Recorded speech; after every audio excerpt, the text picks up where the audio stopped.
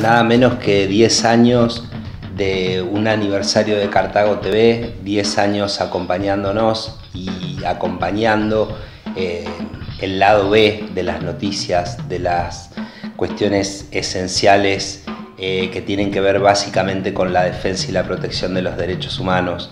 Eh, un programa, creo yo, indispensable para poder charlar, discutir, pensar y reflexionar sobre todos los temas que mm, de algún u otro modo nos importan a la gente que intentamos este, luchar por, por un mundo mejor, por un mundo más igualitario.